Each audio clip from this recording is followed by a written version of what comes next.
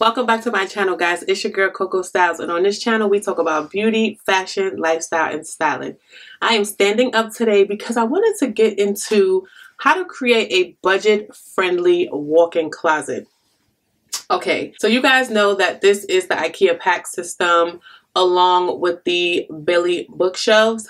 I had the Billy bookshelves for a long time and just decided to add in these pieces behind me in my actual walk-in closet in my bedroom if that makes sense but in this video I wanted to give you guys some tips on how to create something similar and on a budget. The first thing you're to need is, and this is to be like a step-by-step -step video. There's a ton of videos out there, but I wanted to break it down because I have changed this room so many times. I dished out some money a ton of times, and this last time I decided to just buy an additional piece, replace a piece, as opposed to buying the tallest one which I'm probably still going to do.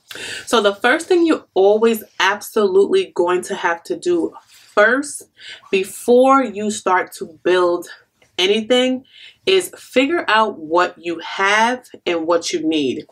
What I mean by that is I have tops here. I do not have a ton of tops, but I also have an extra space at the bottom that I'm utilizing for like shoes. If I decided to go out and buy 50 shirts today, I have a place for it. Okay. I did this purposely because I do not have a ton of clothes. I'm very strategic on what I put in my closet so I don't have a bunch of stuff that I'm just never going to wear. So everything does have a place for it. So First thing you always want to do is figure out what you have and what you need.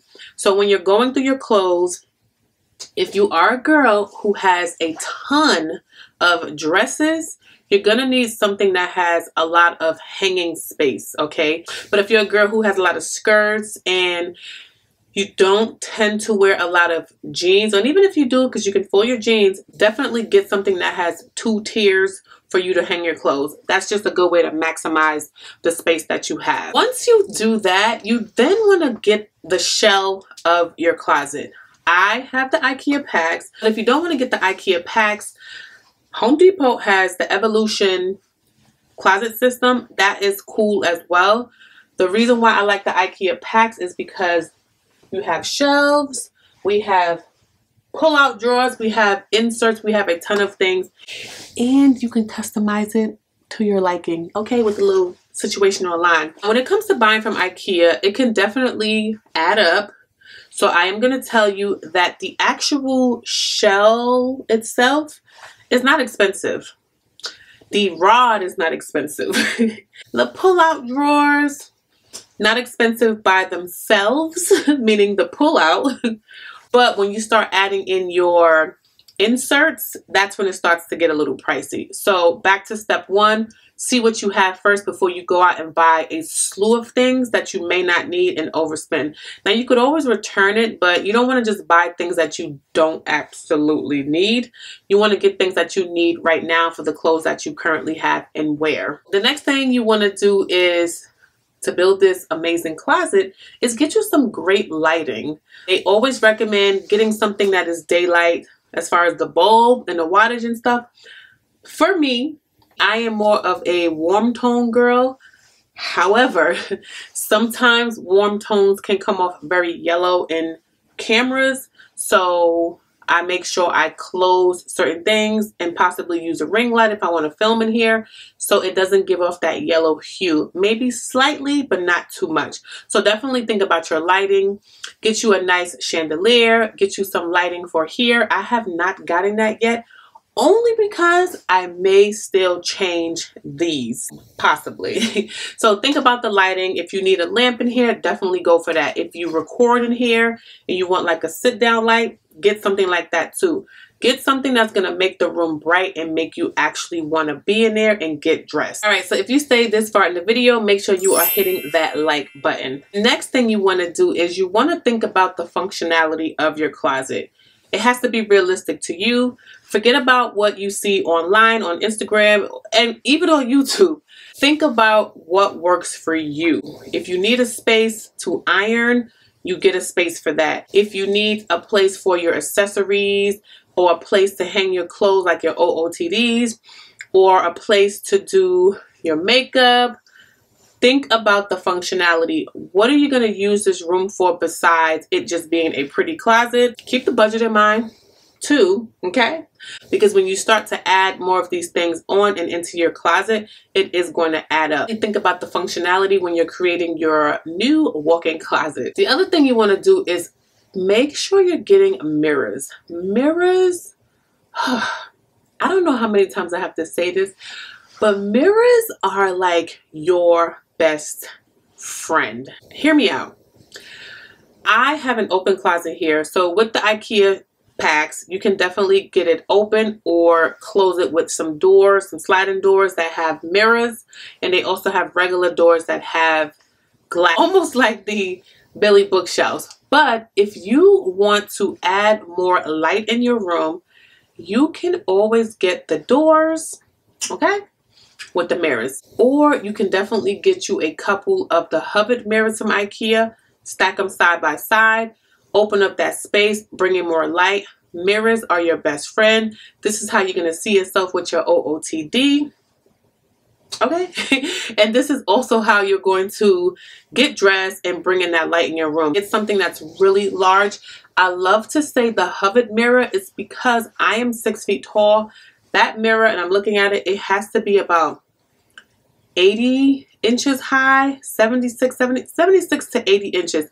Very big and it's very wide and it's affordable guys. They have it in black now.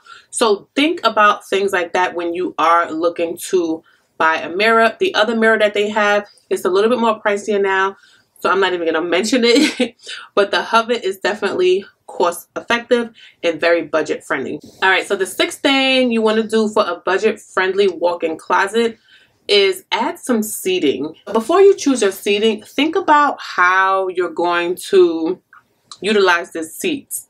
Is it something that can be used as a bench to just sit on and put your shoes on if you put your shoes on in your home? Is it something that you could actually lounge on? Is the space of the closet big enough to have like a chaise lounge? Think about that before you buy that item, okay? I have a regular ottoman in here. That is solely because it's not really big in here. This is taking up some space and I still want to be able to walk around. I didn't want to move a ton of stuff around in here. So I got something like this. But you can also still get a regular like cushion chair if you have a vanity in here. That's perfect. That chair can be utilized for many different things as well if you're working or if you just want to sit in your actual room. So think about the seating before you go ahead and just buy anything or something that's too big or even something that is too small. Which leads me to the next thing. If you get seating, you want to think about storage, okay? If your room is not extremely big, you don't have a lot of storage space, go for an ottoman that has storage.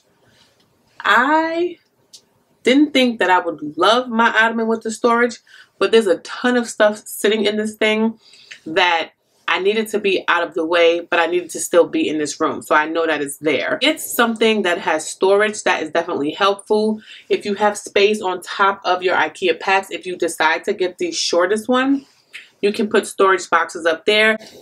Now, okay, Maybe you're like, oh, boxes are going to be ugly, blah, blah, blah, blah. No, they have a ton of nice boxes. If you have a certain color aesthetic in your closet, you can definitely go for something that is a solid color. It may cost you a little bit more, but at least you have a box or something that you could actually put at the top. You can possibly even hide it with like your luxury boxes. I've seen girls do that. So if you don't want to put boxes up there and you want to do like bins, get something that is clear possibly or maybe the front is clear, you could display something and keep it super simple. Which leads me to the last one, displaying your stuff in your closet. Listen, this is the best. When you're creating a fabulous walk-in closet or a space that is budget friendly, you want to display your items, okay? I have shelves, I have the Ikea PAX again. Inside the middle here, down here, my sunglasses are there, but I did get the glass on top so I could actually see inside. I'm not going to say that that wasn't budget friendly because the glass is like $55. Um, it was 45 I don't think it's 45 anymore. but I wanted to get it so I can see my items. So for me, I saved a little bit because I didn't have to go ahead and buy a bunch of other little pieces to hang my glasses on. They're in this drawer. They're out of the way. It's very neat and I can still see my glasses. I decide to display my things. That is one of the things that I love to display. The other thing you can do is you can start decorating budget friendly with things from Home Goods, At Home, Target, all these places. You guys already know Target has really nice home decor. Don't sleep on them. Go to all of the Targets in your neighborhood. Sometimes they all have different things. Decorate with like some really nice artwork and display some of your favorite hats, some of your favorite bags and shoes. Put them on display. Make it a beautiful closet. This is going to be your own walk-in closet that meets your type of style and aesthetic. So that is the last thing for this video, guys. Just a quick video on, on some tips on how you can create a walk-in closet on a budget. Each thing that I mentioned in the video, there is a higher price item for it and there's also a lower price item. So when you're thinking about budget, it doesn't mean cheap as in quality. You're thinking about the price, right? And also the quality. The shells of the IKEA PAX is not expensive, but I think the shells are made really, really well. They're very sturdy, but if you don't want to get something like this, you can definitely go ahead and get something else. But we're talking about a budget here. Okay, and IKEA is budget friendly. so that's it for this video. If you need any more tips on how to create a budget friendly closet like this in your home, regardless of the space, guys, you can still have something really, really nice in your home, even if it's a standard size closet. Trust me, I did it for years in New York City. Thank you guys for tuning into this video. I hope you guys enjoy and I will catch you in the next one. If you stay to the end of this video, please comment Coco we see you. And guys, don't forget to follow me on Instagram at Coco Styles NYC and Coco Styles NY and my personal style blog, Coco Styles NYC and my style services, Coco Styles NY. And I'm on Tickety, Tickety, Talk, Coco Styles NYC. And I will catch you guys in the next one. Bye guys.